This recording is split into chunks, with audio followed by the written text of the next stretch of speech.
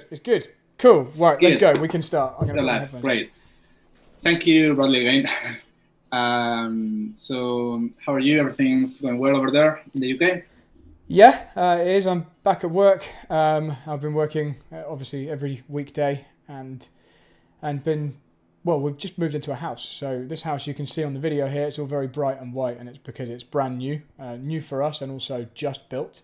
So it's been a very hectic couple of weeks, um, moving in, starting back at work, and obviously still under partial lockdown. Yeah, that's that's been a bit sort. That's been a good entertainment for the lockdown yeah, last weeks. It, it, would have been better if it happened at the beginning, so we could have un- unpacked all the boxes. But uh, I'm glad we're glad we're into a new house. Good, So um, I've been reading about you in different sources. Uh, you started in karting at the age of 10 in 1995. And apologies for this. I'm gonna show just a picture that you are actually sharing in your um, in your personal website. That's uh, you can leave the link uh, later. So let me just uh, get that uh, here. There you go. So this is a picture of Bradley Philpot. Let me know if you can see it. I can see it. I can see it just fine. I, and you don't have to apologise. I'm quite happy for you to show pictures of me looking young we accept any comments from many viewers uh, on on the way Bradley looks like. but you were 10. Uh, this is a 1995 picture. You were 10. This is the first time you took part in the Formula TKM. Is that right? This is actually cadets. So, um, cadets. so I, when I was 10, you're kind of halfway into your cadet um, career you get a, few years. It's basically eight till twelve is a window. It certainly was when I was young. So that's that's when that's the ages you can drive these carts And this was a lovely brand new ARC cart This is before it was ever raced. I can see how clean and um, fresh yeah. it was there, and how the stickers are all nice. Uh, and me and my, my little brother Paul both had this exact same go kart, and um, this came after after probably a year and a half or so of racing indoor karts down on the south coast in a place called Fareham, at a track which no longer exists, but there are some nearby. And this this photograph, I remember when this was taken. This was taken in a car park near my house, and um, I drove some some go karts from that car park onto the road when I was a bit older than that, um, which hopefully I can't get into trouble for talking about that now. But yeah, that was. Um, it's been more than twenty years, so yeah, don't worry about it. So um, you moved to Formula TKM when you were 12 then. So you said you used that car between 8 and 12, and then when you were 12, when you turned 12, you moved to Formula TKM. Kind of. Uh, it's not quite as simple as that because I tested a TKM when I turned 12, um, but I actually had a crash. It was at Clay Pigeon um, down on the south coast again. I'd never driven the track before, and as I, as I left the pits, I, I think it might have been a stuck throttle. It was either a stuck throttle or it was me not braking early enough. But whatever happened, I crashed at the first corner out of the pits. Um, and that was the that was the only time I drove a TKM kart until I was 17, uh, maybe 18 actually. So I had a big break between 12 and 18, where all I did was uh-huh. occasional indoor karting. We basically ran out of money to to progress and buy new karts, especially if I was going to just crash at the first corner. I think that was the logic. So. Uh, ah, okay. Well, uh, so then you joined the TKM when you were 17 or 18, and yeah. you raced there for how long did you race doing that? So, yeah, I think I raced maybe for two years uh, with my own TKM. I had a couple of different ones. I, I bought uh, basically I took out a loan when because I got a normal job. I was working in office, so that meant yep. I could then get a loan. It was back before the the credit crunch and all that kind of thing. So they were kind of giving out credit cards and loans to people very easily and I really wanted to go racing again. So I bought this cheap, rubbish go kart, probably from eBay. Um, I had no idea what I was looking at really. I got something that was pretty bad. Um, so bad, in fact, that when, when I took it to a race, it was illegal. They wouldn't let it race. It needed updating quite significantly. And that's, oh. that's aside from the fact it was probably very slow because the engine had probably never been rebuilt. But then I, mm. I hmm. kind of I bought another one after that, and we had a rubbish old trailer. And me and my friend, um, I had a friend called Paul Jordan, and and we kind of egged each other on to buy these carts and get back into racing. And, and I just ran myself from a trailer for probably two, two and a half years. Um, I actually restarted a. There was a, a kart club at a place called Matcham's, which mm-hmm. had it kind of gone defunct. It, it stopped running, and I basically because I wanted somewhere nearby to race, I organised a championship um, for people with TKM carts and Rotaxes and that kind of thing, and I ended up racing in that initially. Uh, but the cart, mm-hmm. the track wasn't very good for the carts because it was so bumpy with tree roots. You might have even been to Matcham's yourself for um, for a, a, rental cart session. It no longer exists, yeah. but it did. Mm. Okay, so um, that's that's interesting. Uh, slightly different version than what I understood from other sources. Uh, but in any case, Formula TKM, uh, that's that became like in one of the most important karting categories in, the beginning of the 90s in the UK. So Button, Hamilton, and I guess other good drivers were racing there. So do you remember any uh, the, the driver you had the most fights with during that um, field of karting? I yeah probably one because I because I was doing TKM quite a lot older than any of the top guys would have been doing it. You know, they they would have moved on from that when they were probably 15, whereas I I was just getting back into driving my yeah. own car when I was kind of 18. So I, you know, if I had any money, I would have been in, in cars at that point. So I didn't race against any of those names that you'd know. Um, but probably the one person I remember uh, would be George Lovell um, because I raced him at Matcham's a lot. And he wasn't normally even in a TKM. We, we were in a bit of a mixed class where he was in a Rotax, I was in a TKM. They, they put the classes in together to try and boost the numbers. Mm-hmm. Um, but yeah, the, the race I can remember the most, the, you know, the closest, the best battle, like the, the, the most awesome race I had in that TKM was was against George. Um, I can't remember who won. One of us won, but I can't remember who won. Um, but yeah, okay. that was he was the probably the best person I raced against. Well, so it'll be very interesting to see uh, how he progressed in his racing career and how you compare now uh, in which category you are you are racing at the moment and how much you've progressed uh, over these years after karting. Yeah, George moved on to Formula Ford, I think, and he I think he won the British Formula Ford Winter Championship. Um, uh-huh.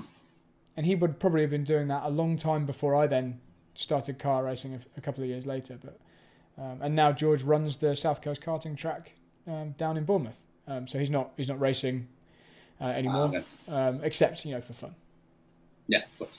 So um, you moved uh, to like let's say a real racing car for the first time. Um, according to what I've seen, 2007 with the Toyota uh, MR2 Motor Club Challenge. Is that right?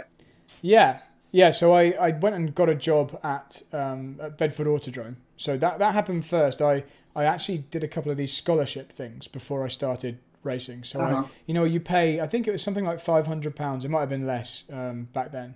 In around 2004, 2005, and I, I progressed through the different stages. You drove like an old Formula Ford and had to do some interviews and things. And the guy who won was a driver called Jamie Stanley, and he worked at Bedford Autodrome for Jonathan Palmer uh, at the Palmer Sport um, event. And he, he basically got me a job there, or he, he at least told me I should apply for a job. Um, yeah. And and I did, and then I ended up moving up here to Bedford. I'm, I'm in Bedford, just outside of Bedford now, and I've been here since 2005 because of because of working there, and having worked for maybe a year and a half at Bedford Autodrome as a race instructor with only go kart experience. So I was teaching people how to drive race cars, but I'd never raced a race car. I, my only experience was karting and driving the school cars that that, that we were teaching people in. Yeah. That's that's when I then um, managed to scrape together enough money to do the first season in, in the Toyota MR2s that you mentioned. But that was an, an impressive uh, leap to the real racing car because even even if you hadn't raced any real car before, the first year, championship victory with three wins, seven podiums. The first year, how do you do that? Um, it was. It, it sounds. Um, it sounds silly, but it was easier, um, and it was easier because I'd been instructing in much faster cars. So when your when your job is to sit in a car which has say you know 300 or 400 horsepower and downforce and big sticky tires and you're traveling really fast through the corners, when you then race at the weekend a car with only maybe 130 horsepower and road tires and no downforce, it all seems mm-hmm. pretty slow. So the most difficult thing about that year in the Toyota MR2s was that we had a very old engine So the, the engine in the car had done 140,000 miles. It was the original engine that the car had as a road car. It had never been rebuilt. Wow. And the car was pretty, it looks really nice, but it was pretty worn out. Um, so we painted it. Um, my granddad, my granddad had it painted for me in some beautiful colours. It looked really good, but yeah, it wasn't very fast. So I was, um, Was struggling to keep up with people who had done the normal things, which most people would do if you were running this kind of car every year, which is get the engine yep. rebuilt and get it tuned within the reg. You know, it's obviously you're not making it more powerful than you're allowed, but you make it as good as new. And we definitely didn't do that. So that was the trickiest thing. Well, Driving the car wasn't so hard, but yeah, straight line speed was hard. Well, anyway, uh, the numbers look very good. And might be a rationale behind that, but yeah, the, those numbers for at least for the first year for any uh, rookie in that category are just amazing. But then the next big step in the in real racing cars for me on what I've seen was in two, 2013. Uh, 2013 for me was um, for what I've seen in your background the the biggest step in your career. That was the year when you had a, a big leap into the real racing cars uh, and that's basically boosted the rest of your confidence and racing career. So first in the Volkswagen Fun Cup Great Britain, that earned you a seat in the VL, VLN series, which is the endurance racing championship in Nürburgring, with the Peugeot 208 GTI GTI racing experience. You won in the debut, so do you agree that this was definitely the, the biggest push in your racing career? How do you how do how do you feel during this year? Yeah, so 2013 was a really crazy crazy time because I I hadn't raced a car since the first year. So 2007 was was the MR2s like we mentioned, and then I did nothing like no racing at all apart from obviously some occasional rental karting. Yeah. Um, and and then you know instructing every day. I did no competitive racing until 2013, and I wasn't expecting to do any then either. That really came out mm-hmm. of the blue. I was at my um, a house we were renting with my fiance Becca at in a place called Croughton, um, which is near Brackley, and I was on Facebook on my phone probably, and I saw a Facebook competition run by Peugeot, and they were mm. looking for people with international racing licenses to to enter the first round of this thing called the 208 GTI racing experience, which was essentially a marketing effort to sell the upcoming new Peugeot 208 GTI. So they were doing this as a, as a marketing exercise to boost the sales and, and the um, and the awareness of the 208 GTI. So I clicked I clicked on the link and I said yes I want to enter and it said you must have, it gave a lot of criteria, but the main one was that you had to be eligible for an international C racing license. And the tricky thing about that is you have to have done a, a certain number of UK races within the last few years to then qualify you to apply for an international C. So the first hurdle was I didn't really um, qualify for an international. I certainly never had an international race license, but I spoke to the MSA and I thought they would say no, but they said yes. You basically have the bare minimum results, um, which mean you can then pay us and apply for an international C license. So. Just, got, one, just one comment, just um, for maybe some viewers don't know, the MSA is the motorsport um, yes. organization in the UK. It's like the FIA internationally, but only in the UK. Yeah, exactly. It's now called Motorsport UK, um, which is a bit of a less confusing yeah. name. But uh, yeah, so essentially, I got them to email me the proof that I was eligible to enter. I then, mm-hmm. it, but at that point, I still thought, well, you know, I'm going to be up against hundreds of other drivers, so this is still a very slim chance. But I entered the first um, round, which was essentially a, you had to do a one lap shootout. Um, all the drivers came throughout the day, and it ended up as just over 400 UK race drivers, uh, British touring car drivers, GT drivers, you know, any, any everyone who had an international C license wanted to win this drive with Peugeot because it's a very rare opportunity to just get a factory drive with a manufacturer from nowhere. So you had to do one lap in a Peugeot 208 road car, not a GTI, just a 1.2 litre 208 Allure, I think it's called, which is like a shopping car. And yeah. you one lap, and it was all electronically timed. They had cones that if you touched the cone, your lap was disqualified, and if you cut a corner, it was it was obvious and nobody knew what lap time they did. You went out, out lap, flying lap, back to the pits, and then goodbye. We'll we'll let you know how you did. And then three or four days later, maybe maybe a week, um, my friend Pat Buss, who um, who kind of features in my life a bit later on, which I'll, I'll talk about later. He, I think he called me. I think it was a telephone call whilst I was at our house in Croughton, and he said, "Have you seen the results?" And I, I hadn't. They'd been posted online somewhere. I think on on the Peugeot website. And he mm. said, "You probably want to have a look now." So I looked at the results, and I'd actually come second in this first round. So out of the 400 drivers, I was second, and I was about two tenths of a second off of the top driver. The top driver was someone called Nigel Moore, who was, I believe, Formula Palmer Audi champion, Ginetta champion. He was a factory Ginetta driver, Le Mans wow. driver. And in third place was David Pittard, who is now a works BMW driver in the VLN series. Um, and, uh, and there were a couple of other drivers as well. So the top five of us then progressed through to the international final at, um, at a place called La Ferté-Gaucher in France, which was a track I'd never been to, never heard of.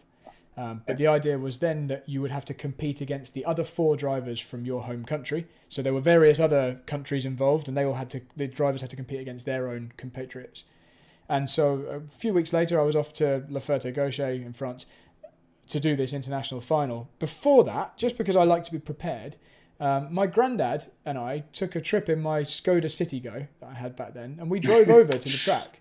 Um, and there was nothing in the rules that said you couldn't visit the circuit. And I figured it would be a good idea to go and see the track before we turn up on the day. So I went there. There was nothing you could do. You couldn't take your own car on track. But the one thing you could do was pay something like 100 euros to do two laps in a Ferrari around this track. So I paid the money. I went in with an instructor, even though I was an instructor at the time. It was my job too. And I said, I'm really sorry, man. I don't need to go fast. I just want to drive around the track. And it was probably the easiest drive that guy had all day. I just drove around a couple of laps. And although I wouldn't say I was an expert, I at least knew roughly where things were ready for the international final about a week later. Um, so then we went to that. We had a series of shootouts, very similar to the first one, where it was all about the fastest lap in each car, different tracks. And throughout the day, every couple of hours, Peugeot got rid of the slowest driver. So you ended up with the final two who would get to drive the the Peugeot 208 GTI road car, which was really like the only one in, in the world at that point, or the only one they were letting any, anyone drive. So we yeah. had to be careful yeah. with it. And then you had a, a um, an interview with the, the team boss and, and some former Le Mans winners for Peugeot. And and so it was me and David Pittard, to the final two, and we went through. We did this lap in the, the GTI. I thought I'd screwed it up because I I missed a gear. It was a left-hand drive car, so I, I think I went down to first when I didn't mean to. But and then we had the interview, and I, I did a little French speech, which is on on YouTube somewhere. Um, and eventually they announced it, and I, I got the drive. So so that's how that all began. So yeah, that's a long a long story to get to that point. But that really, as you said, is where it suddenly kicked up a gear, and and things. I was suddenly doing from nothing, doing no racing since, since 2007. I was suddenly uh, on this program with Peugeot to prepare for the Nurburgring 24 hours, and and to cut that story as short as possible, we did a couple of VLN races in a slower Peugeot to get our license for, for the 24 hours. You have to have a, a Nürburgring Nordschleife Gold permit in order to compete in, in the category we were in, in in 24 hours. And then um, we got those. I won that first race. We had a, a, couple of other races. I think we came second or third in the class. And then at the 24 hours itself, we came third. Um, the team actually came first, second, and third, but I was in the rookie team. Um, I was the, the three or four least experienced drivers were all put in together and so we, mm-hmm. we came third.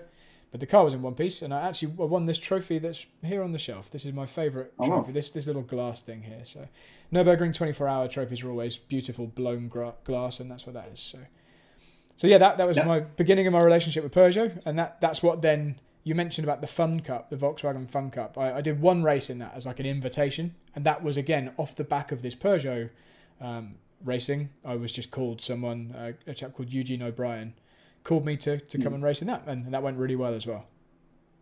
Wow, that's a very interesting story. Um, I got you very overwhelmed uh, from night to day to become a Peugeot driver, and, and actually jumping from racing cars for a few years and then performing that well in, in a real car. That's, that's amazing.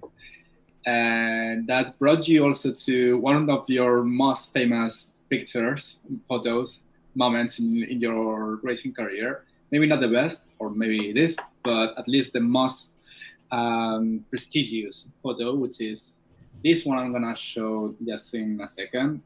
So in 2015, you had the great opportunity to race against um, Sebastian Vettel. So let me just take this. Uh, you can see it now, I guess.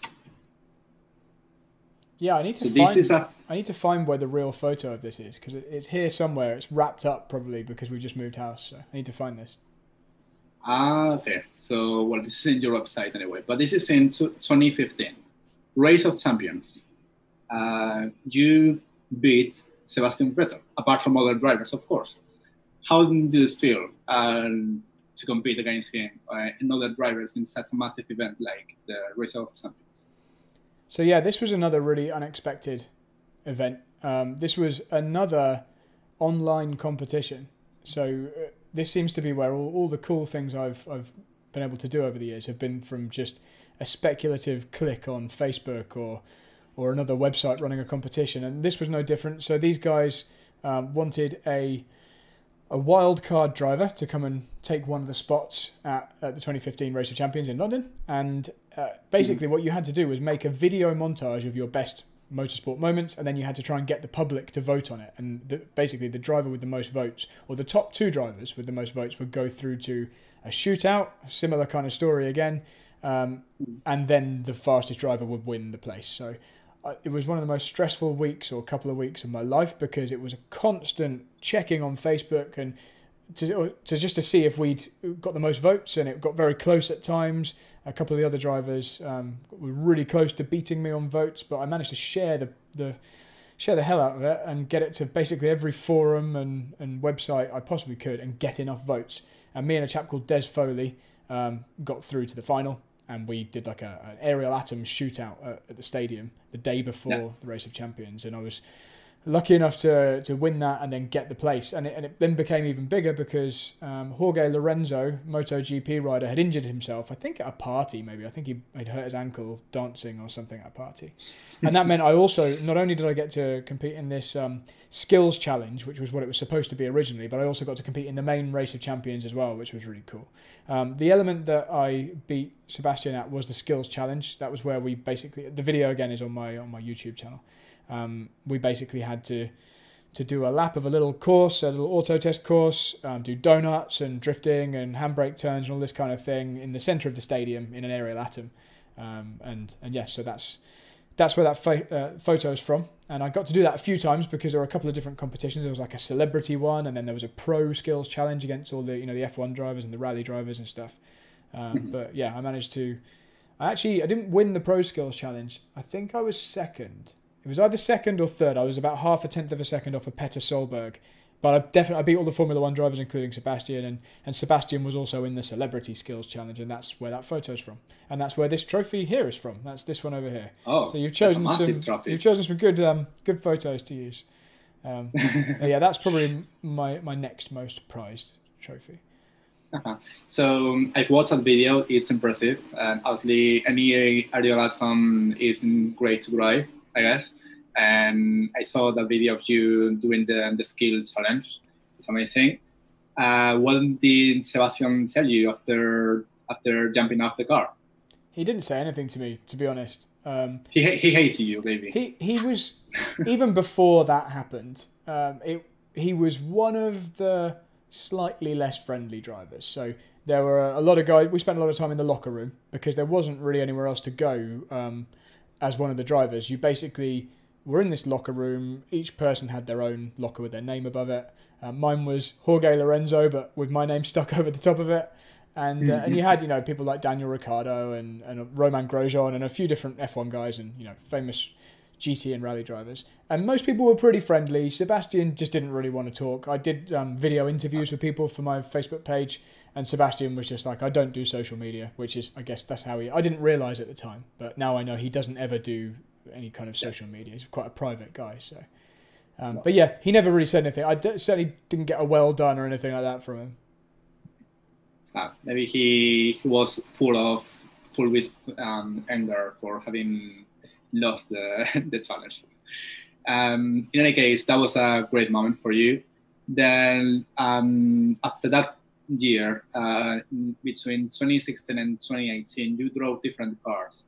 So even you, even though you were still with the Peugeot program, you drove um, BMW Ford Fiesta and the Porsche Cayman GT4 uh, in the 20, in several 24-hour races in Nurburgring. So you must know the Nurburgring down pat, like, uh, like, like the back of the hand. Like, uh, like you could say, like the like my forearm. I have a I have a picture oh, wow. my arm as well. So yeah, yeah. So not not just the back of my hand, the front of my arm. So you can look at your arm whenever you are racing in Nurburgring just to remember which corner comes next. yeah, I've, I've done a lot of laps there now. Yeah. So um, among all those cars, I'm pretty interested to see. And before talking about the Peugeot 308 GTI that you drive at, at the moment, um, which is a car that you enjoy to drive in the most, and why? That's a really good question. So out of those three, probably the BMW. Now, it's not a good car. The BMW 330 was thrown together last minute. The drivers were thrown in last minute. The whole the whole project was basically just a road car chucked into the Nurburgring 24 hours. It was probably the slowest car in the race, um, but that was probably the most fun of those three to drive because somehow we were doing it. Somehow we'd managed to cobble together this this program to do the 24 hours with zero budget. I don't know how little money I spent. Basically, no money. Um, I met some friends in the uh, one friend in particular, Phil Ben, um, who turned into a sponsor and a good friend later on. I met him in the bar at the hotel next to the next to the track whilst I was trying to get some stickers ready to put onto the car and like cut out these stickers because that's how I'd funded it. Basically, I'd just got loads and loads of small stickers, and lots of people had spent very small amounts of money, and we just plastered the car in stickers. And Phil then came and helped me. He was really excited to be there, and he came in the pits and helped me stick stickers all over this car. Um, but anyway, it made it to the finish, and it was called the Underdog. The car was nicknamed the Underdog, and it, I'm sure loads of stuff was broken on it. Uh, I'm sure it, it hit the wall in the middle of the night with one of my teammates. All sorts of stuff happened. But the car made it to the finish. It came fifth in its class, and um, I think the other reason it was more fun maybe than the others was because it was such a bad car and it was so ropey. It didn't yeah. it didn't matter as much if something happened to it. Whereas the Cayman, for example, I had a twenty thousand pound damage deposit that I would have to find if I damaged it, and I did not have that money. Um, so that was a that was a very stressful time. So although the Cayman GT4 was by far the fastest of those, it was yeah. There's a picture of it, a, so you can see how much faster that is than an old road car BMW. Um, that was scary because I'd had basically no practice, just you know a couple of laps, maybe two, maybe three laps the day before, and then straight into the race. And you've got a lot of responsibility to not destroy that car um, financially and my yeah. my good friend Luke Jones kind of put his own savings up as a deposit for that. So I, I had even more pressure not to not to mm. bin it basically. So yeah, the fastest one was the least enjoyable, but but obviously you know really really fast. That's quite interesting. I didn't expect the answer, uh, but obviously it makes sense. Um, the, the BMW was cheapest. You can just throw it and drive it, uh, and kind of mistreat it. so it became the, the, most fun. And just the last question in terms of re, um, real racing cars. The car that you are driving at the moment, which is a Peugeot 308, you are the champion in 2018 and 2019 of the VLN series. Uh, congratulations. Thank you. Uh, I remember to have a, a, um, a, conversation with you about this car uh, but tell us how they how does it feel to drive, and what's the thing you like the most about it? What and tell us about your experience uh, in this team that you are you belong to at the moment. Yeah, so this this was uh, another one of those you know really coincidental, very fortunate things to happen. Um, I was on my way to the race in the Porsche. I was I was on my way with Luke, my friend, to to the Nurburgring when my road car, which was a Peugeot 208 GTI, broke down at Calais. And hmm. so we were towed to a Peugeot dealership, and I, I got on Facebook to ask for help, see if there's anyone who could help us get to the Nurburgring or help us repair the car. And a guy called Christian Urban, who is um, one of the managers at Nett Autohaus, which is a Peugeot dealership near the Nurburgring. He messaged uh-huh. me and said, "Get it to us, and we'll help fix it for you." So we managed to limp the car the four and a half hours or so to the Nurburgring, and we took it to the workshop of the Net Auto House guys. And I was kind of, you know, mentally focused on racing that Porsche that weekend.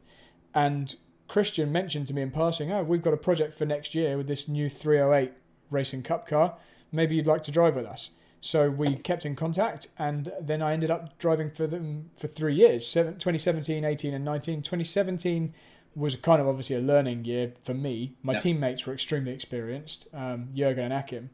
But for me, it was you know first full season racing at the Nurburgring, and we came third that year in the TCR category, and we then switched category to SP2T, which is basically touring cars with um, under two liter engines and a turbo, and we that's that's what we won the last couple of years, and we won every single race in the in the season last year, which was really cool. I have a, a lot of trophies in the garage that I need to dust off and get on display at some point um, once we unbox a few more boxes.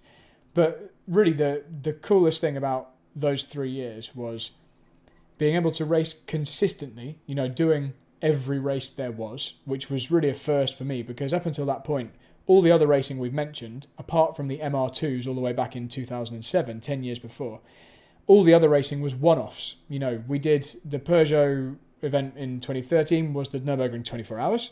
We did two or three races before that, but we didn't do the whole season. It was always in a slightly different car, and you know it was for a reason. It was to get the license. You weren't really competing in the championship. Whereas 2017, 18, and 19, we were in the season. We had you know the race suits were made properly with all the proper sponsors. The car had all the sponsors on for the whole season, and we got to evolve the setup and and make modifications to the car throughout the throughout the three years and make it faster and faster.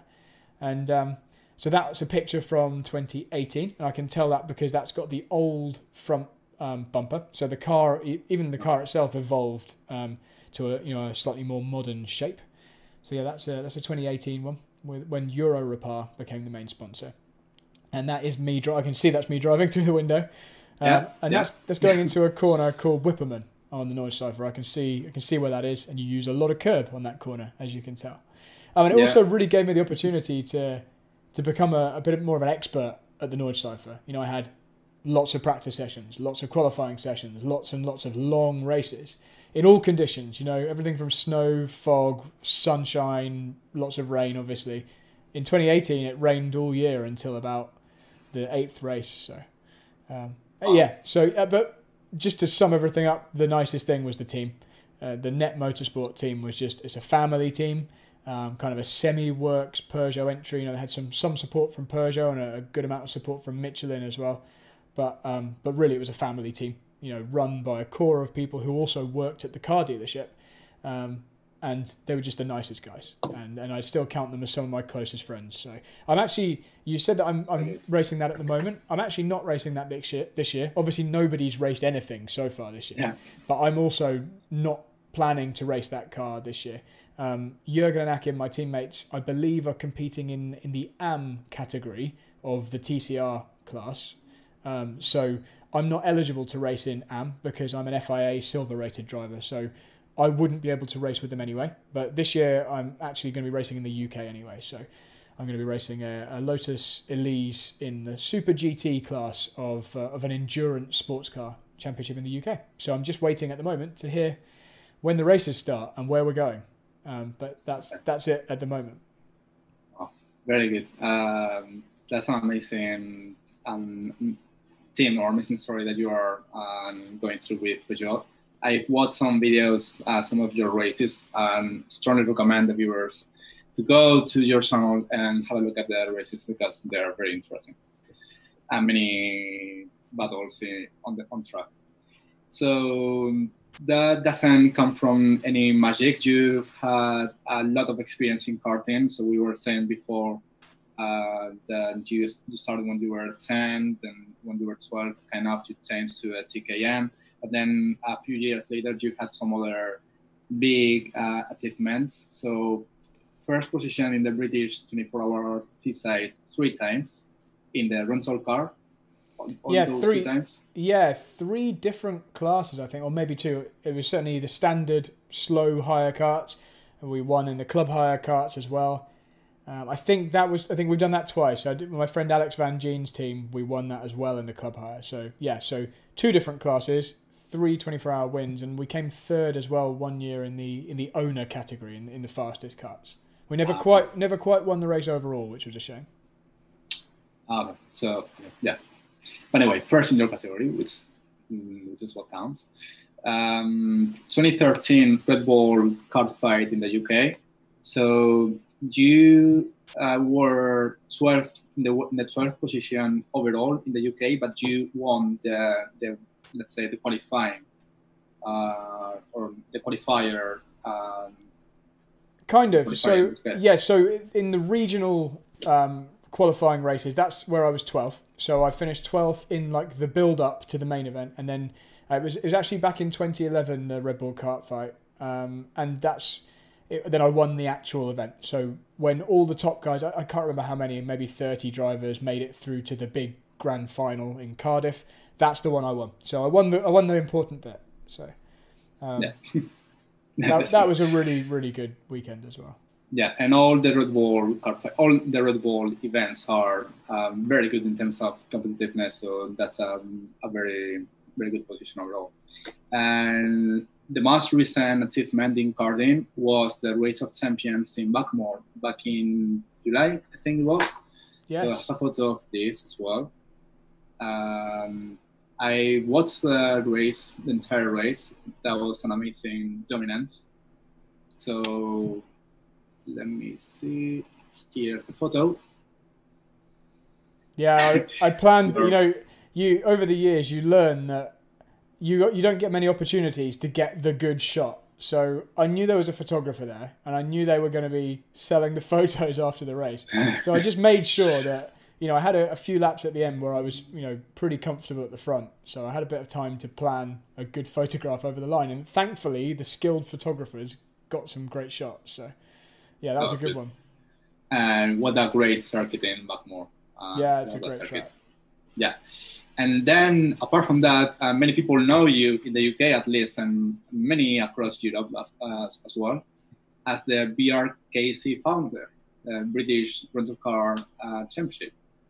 So, yes. where did you get that entrepreneurial spirit? Where do you have the ambition and motivation to create a championship that was gonna success not only in the in the UK but also in Europe, and it's now considered uh, the best uh, rental car championship with the media, um, with all the broadcast coverage and everything. How do you get the idea? Yeah, so this was definitely not planned. Um, certainly not. We never planned to have BRKC at the kind of scale it is today. Um, but basically, to again, trying to cut a long story short, my friend James Auld and I were sat around at a table at Bedford Autodrome, and we both wanted to race some rental. We wanted a competitive rental kart championship. We didn't really have enough money or um, uh, time, or uh, we didn't really have the opportunity to go and do anything bigger at the time. So back in 2010, this is obviously before all the other cool stuff that we've spoken about happened. Yeah. Um, back in 2010, I was happy just to do some karting and I'd been to the the indoor kart world championship again on James Auld's recommendation. He knew about it. It was a thing that mainly happened in America back then. I'd seen how seriously some people took rental karting, particularly indoor karting, and I kind of thought, well, there isn't there isn't anything I can find of similar nature in the UK. So together with uh, my fiance, well girlfriend at the time, Rebecca, um, and my grandparents and my mum um, and some good friends, we kind of put together this, uh, what was at the time quite a, a low level touring kart championship that visited lots of different tracks. Nobody knew really what it was, but we managed to attract a few decent named drivers um, over the first year in 2010. We we had Brendan Hartley, who has since raced in Formula One, um, among other drivers. I mean, it kind of evolved. It, it, this this monster evolved into something better and better and better each year, eventually ending up at Formula Fast indoor circuit as a permanent home, where hopefully you'll agree it's kind of stepped up a massive level because of the investment those guys are putting in and the effort.